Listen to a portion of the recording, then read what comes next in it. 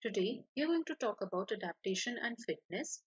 Over here there are three figures given. This is figure 1, 2 and 3. In figure